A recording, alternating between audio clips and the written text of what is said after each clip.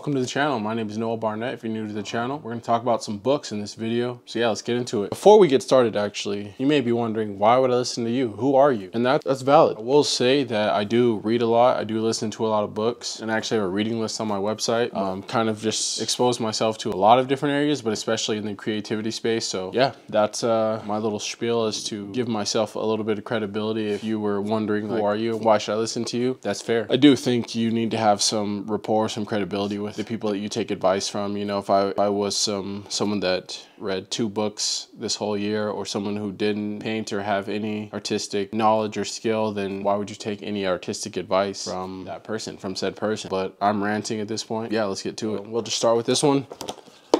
Alla Prima by Richard Schmid. We're starting off hot. This book is, how much is this?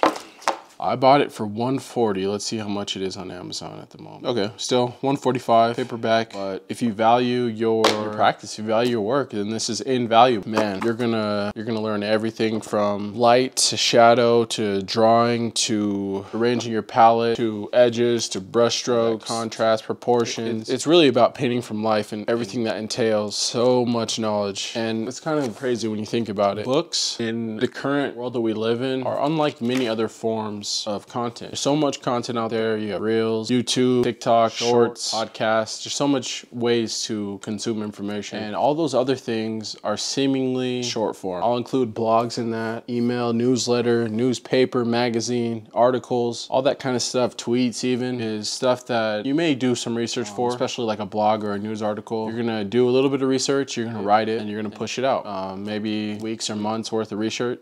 Research. Books, on the other hand, could sometimes be lifetimes worth of knowledge. And that's this, what this is. This is this man's life. He's invested into his painting practice and then he's distilling it into this book for us to read and to kind of alleviate some of the errors and some of the stuff that we don't have to make the mistakes ourselves. All the hours of his work is in this book. And all, all books really are essentially that same thing. It's a distillation of years often into this compact essence. It's kind of mind blowing at that point. So that's why I like books are just amazing tool in, in so many different regards. So yeah, we're off to a hot start. Yeah, that's uh, Alla Prima.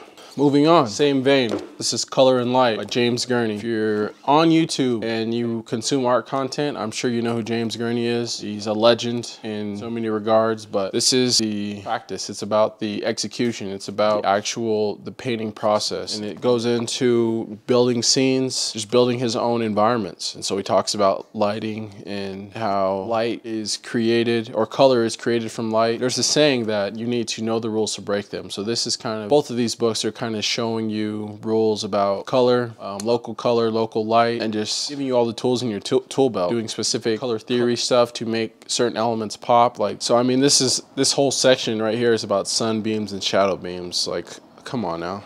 This, just eat this stuff up. Cloud shadows, foreground illumination, specific stuff on snow and ice. So this is just, if you are interested in environments and landscape painting and mythological stuff, futuristic stuff, or just making your own stuff from imagination, making your own environments, like this is an immediate cop. Let's see how much this guy is. This one is not bad.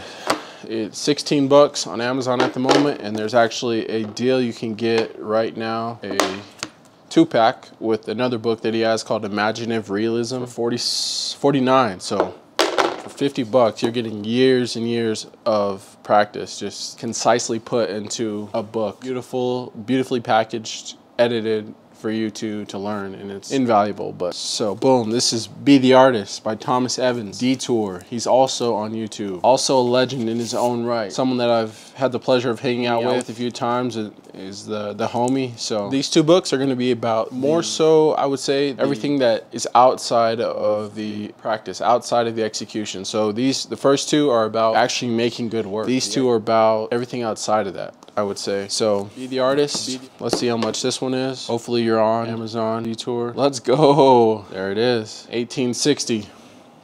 The Interactive Guide to a Long Lasting Art Career is the subtitle. Marketing, curation, collectors, um, social media, where you meet collectors, residencies, doing your CV, doing your artist statement, using certain materials, and tons of like just gems and quotes throughout. And it's just done very artistically, beautifully laid out. There's mental health, which is which is a big thing, and um, um, yeah, mentality is something that not many people talk about. The mentality that you have as a new artist. So a lot of good information in here. He's the homie, so definitely if you're interested, go support. I'll hit you with the uh, affiliate link. No, I'm just kidding.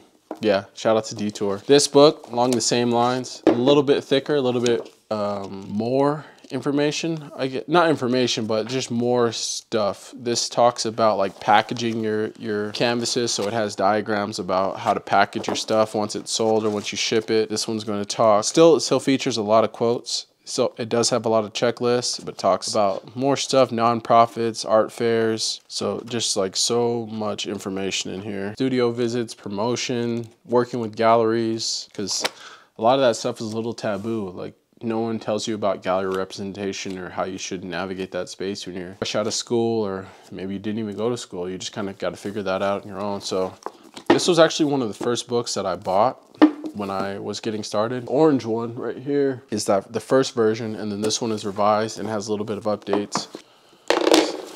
1659 for this guy.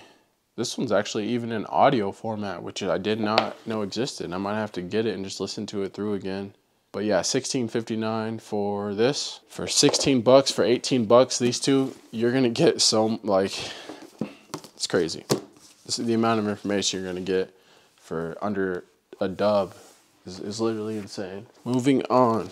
Art and Fear. I'm sure we've all heard of The Art of War by Sun Tzu. The War of Art by Steven Pressfield is a book about the inner battle, the even the often outer battle um, that that happens when you decide you want to pursue a career in the arts, fighting your own doubts, fighting the doubts of your your loved ones or the people closest to you. This is going to be along the same lines. It's about the, the things that trip you up, the fear that often happens as you pursue this journey, the fear that never goes away as you continue to progress. It's just a step down the line and you have to jump over that hurdle and then it just it just reoccurs. So very the very first sentence says making art is difficult. so I've recommended this book. This is probably one that I've recommended the most to people because I, I meet a lot of people that are just have so many blocks and things stopping them from creating. So Art and Fear, definitely go pick that up. I'm gonna look it up, but there's no way it's above 20. And that one's in audio format as well. I re-listen to it probably twice a year. Yeah, 1089.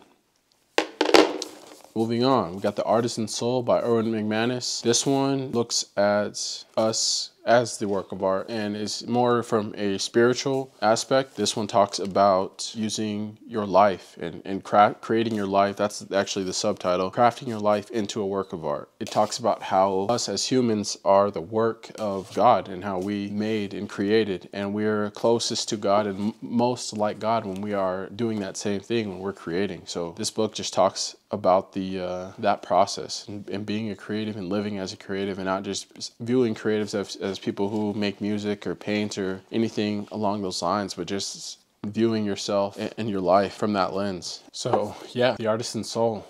Create your not just artwork, but your life and craft your life into a work of art. This one for sure in audio format. Find it on Audible. Hard copy's $15.99. So definitely pick that one up. The Artist Guide to Public Art. Title doesn't get any better than that. Subtitle is How to Find and Win Commissions. If you're interested in painting walls and you want to make a living painting walls, pick up this book right here. So much valuable information about working with municipalities, working with governments, winning applications, everything that goes into applications, the insurance you need, talks about different types of insurance, talks about the process of being on a selection committee, and what things they're going to look at, how they score your work, websites and databases to find calls, where to find competitions, training for stuff, longevity, health insurance, contracts, fabricators.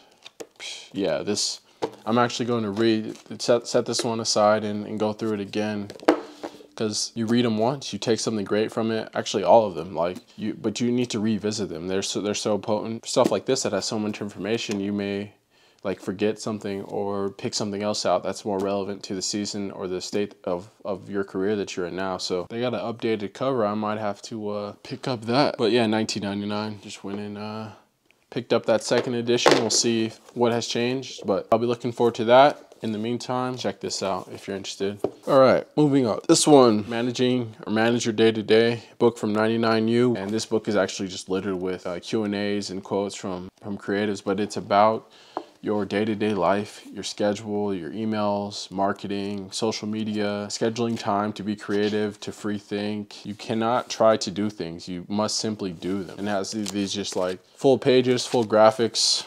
These books are very short, concise, but they just pack a punch. The artist who aims at perfection in everything achieves it in nothing. Creativity is not a talent, it's a way of operating. Go ahead, pick this up. 99U has a whole series of books like this and they're all cheap. This one, again, I believe this one's 11. Nope, 8.99. Again, another meal, cheap meal. Don't go to Chipotle one time. Get this, get these books that are gonna change your, your whole outlook. Word, here it is. Show your work, share like an art. This is from the guy who brought Steal Like an Artist. This one is about sharing your stuff. It says share something small every day. That's chapter three. And immediately that hits home because that's something that I do not do and I struggle with myself. So we got this little simple diagram right here that says learn and teach.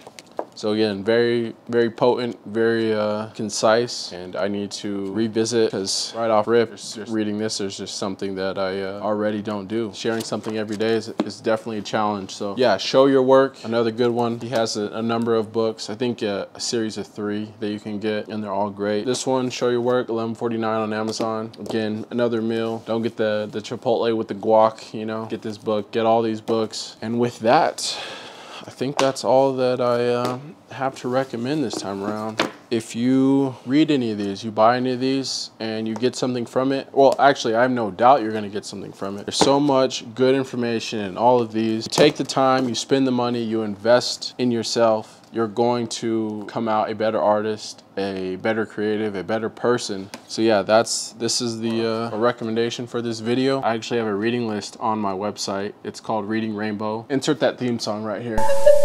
Butterfly in the sky. But yeah, reading list on my website. Links to everything will be down in the description where you can pick all this stuff up. Make sure if you enjoyed the video, give it a like drop a comment down low, give me some feedback, subscribe if you're new to the channel, and uh, I'll see you in the next one. I'll definitely be back maybe next year in a few months with some more books, some more reads. That never stops. So this was something a little bit different. Again, I hope you enjoyed it, and uh, I'll see you in the next one. Peace. A reading rainbow. I can't go anywhere.